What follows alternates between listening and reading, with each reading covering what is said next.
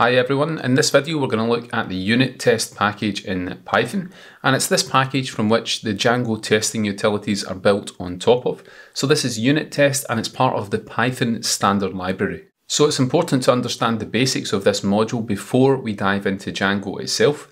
Now the unit test unit testing framework was originally inspired by JUnit and that's a testing framework in Java and this has a similar flavour as major unit testing frameworks in other languages and it supports test automation as well as sharing of setup and shutdown code for tests. And you can also aggregate tests into collections and you can report on these tests in different ways with different reporting frameworks. Now to achieve this, unit test supports some important concepts in an object-oriented way. So this unit test package in Python provides object-oriented concepts for writing and running tests. Now you have things like the test fixture, which represents the preparation that you need to perform one or more tests, as well as associated cleanup actions. We also have the test case, and that's the individual unit of testing, and it's going to check for a specific response to a particular set of inputs. And importantly, unit test provides a base class, and that's the test case class, and that can be used to create new test cases. We also have the concept of a test suite, and that's a collection of tests that can be run together and a test runner.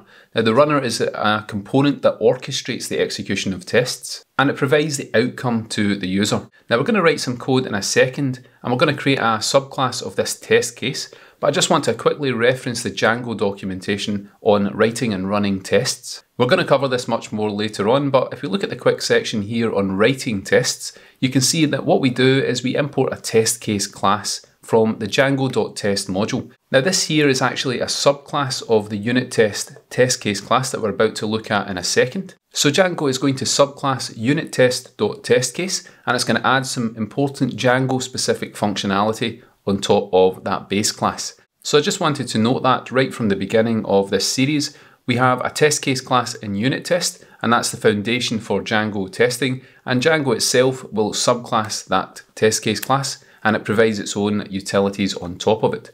So let's get back to the unit test documentation. Now, if you look at the table of contents here, I'm going to go to the basic example that's provided in this documentation. And we can see how to construct a test class here. So what we do is we import unit test and then we create our own class. In this case, it's called test string methods. And that is going to subclass the unit test.testCase class. So this is taking advantage of object inheritance and object oriented programming and the test case class, that's what you're going to subclass or extend when you define your own classes. And these classes contain methods, and the methods are the actual test cases. And what these methods do is they optionally take some kind of input, and what they're going to do is make some assertions about the state of the program given those inputs or given a set of conditions. So the unit test.testCase class, it provides a variety of assertion methods that you can use, such as assert equal, an assert equal is going to take two arguments as you can see here, and basically it's going to check that those two arguments are equal. So if we take the lowercase string foo and we use the dot upper function, which is a string function in Python, we should get this capitalized version of foo. So the assert equal method here on the test case is going to check for that, and that's going to evaluate to true. And when these assertions within a method evaluate to true, your test case has passed. And if all of your tests pass, then your entire test suite is going to pass. And that's what you're aiming for as a programmer. And you can see some other methods as well as assert equal. The test case provides assert true and assert false methods, as well as some different methods here at the bottom. Assert raises is going to check for a particular exception or error. So we have a variety of assertion methods that we can use inside a test case subclass. So with that introduction out the way, what we're going to do is go to Visual Studio Code. So I have a file here called app.py and what I'm going to do at the bottom is go to the Visual Studio Code integrated terminal and in order to follow along with this and write your own classes and test them in Python you need to have Python installed on your operating system. So what I've got here on a Mac is Python 3 and I've got version 3.11 so in order to follow along you need to have some kind of Python version on your system. So what we're going to do now is write this superhero class that I'm going to define here in app.py and let's define a dunder init method. Now we want the superhero to take two arguments and store them as instance variables on the class. So let's give the superhero a name and I'm also going to pass in a strength level that we're going to test in a second. And then we can store these as instance variables by using self.name here and setting it equal to what's passed into dunder init.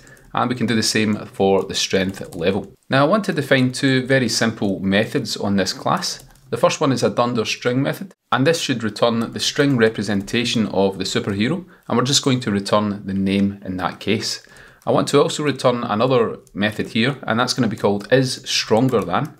And this method is going to take another superhero object, so let's call it other hero as a parameter, and we want this to return a boolean condition. So what we're going to return here is we're going to check self.strength level and we want to check is that greater than the other hero's strength level. So other hero.strength level will be the comparison here. So if we call this method on a superhero, the instance's strength level is going to be compared to the other hero. And if the instance has a greater strength level, it's going to return true. Otherwise, it's going to return false. So that's a very simple superhero class. We're now going to write some tests for that.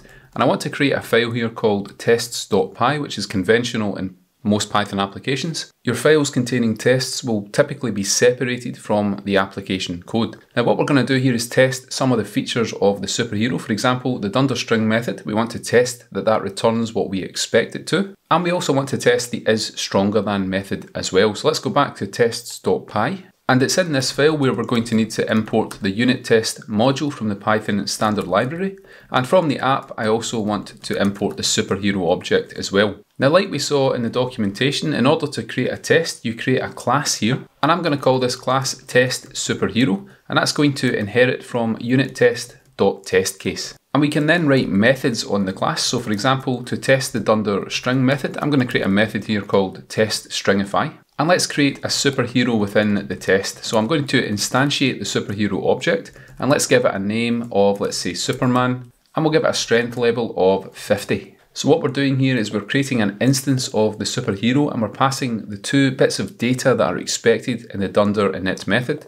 And then what we're going to do is check that the dunder string method of this superhero returns the name. That's what we expect because if we look at dunder string, it returns self.name and in this case we're passing a name of Superman. So because we're in a test case subclass, we have access to an assert equal method. And here we're going to convert the superhero that we created on the line above to a string. And we're going to check that that's equal to Superman, which is what we passed in here as the name. Now in order to run this test, let's go back to the command line and we're going to run Python 3 and we're going to invoke the unit test module. And we can pass a link to tests.py and that's going to run the tests that are found or discovered within that file. So let's run this and we get one test and it returns OK. Now I want to write another test here, now that we've got this one, to check that the is stronger than method is going to work as expected. So let's go back to tests.py and define a second method in this test case subclass. Now, one thing about test methods is that they often have verbose names. They often have long names that very clearly indicate what you're testing. So we're going to create a method here called test is stronger than other superhero.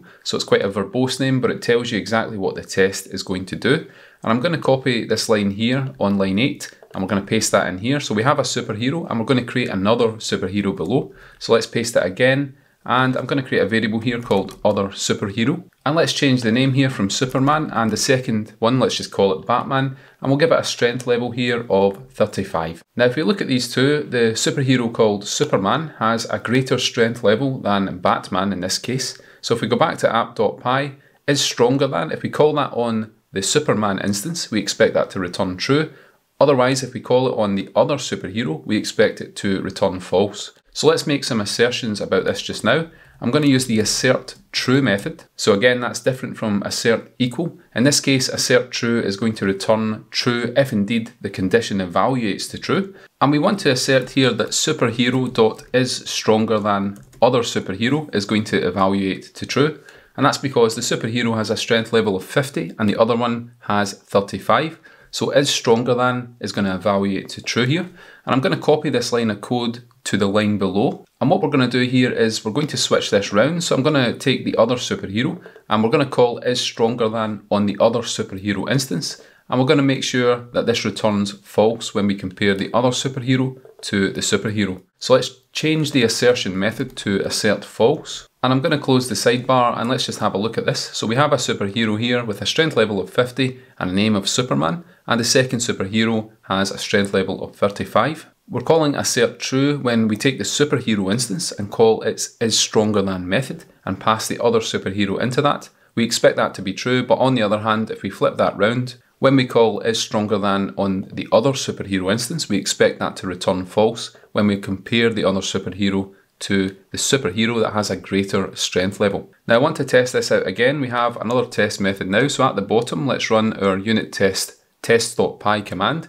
And now we've run two tests and you can see they are both passing. Now we can change the expected output here to see what happens when a test fails. So for example, when we call assert equal here, if I pass in Superman 2, that's not the name we're passing into the instance, so we expect this to fail now. Let's run the command and you can see we now get an assertion error. Superman is not equal to Superman 2. So in this case, we've got a failing test, but I've introduced that deliberately just to show what happens when we do have that failure. So we've now written a test class to test the superhero logic that we have in our superhero class. What we want to do now is just finish the video by showing an example of using what's called a setup method within the test case. Now the reason that you might want to use a setup method is to consolidate logic that is shared between different test methods. So for example, here we have a superhero, and you can see that we are instantiating this superhero on line 8 within test stringify, but also in the second test that we have here on line 12. Now I'm going to go back to the unit test documentation, and on the left hand side there's a section on organising test code. And all of these concepts apply to Django test classes as well. Now I'm going to scroll down here and we're going to look at what's called a setup method. So you can factor out setup code by implementing a method called setup and the testing framework will automatically call that for every single test that's run within that class. Now we're going to do that just now just to factor out some of the code. So within the test case class, what I'm going to do is create a setup method here and that takes self as a parameter because it's a method. And then what I'm going to do is copy this line of code for the superhero. Let's cut it out of here and we're going to define self.superhero now and set it equal to that instance there. And I've got a duplicated equal sign here, so we can just remove that now. So self.superhero is what we want to test. And then what we can do is just reference that now within test stringify. So we factored that out into its own setup method. And that means we can also get rid of this here on line 14. So I'm going to cut out the superhero and any references to that we can now replace with self.superhero instead.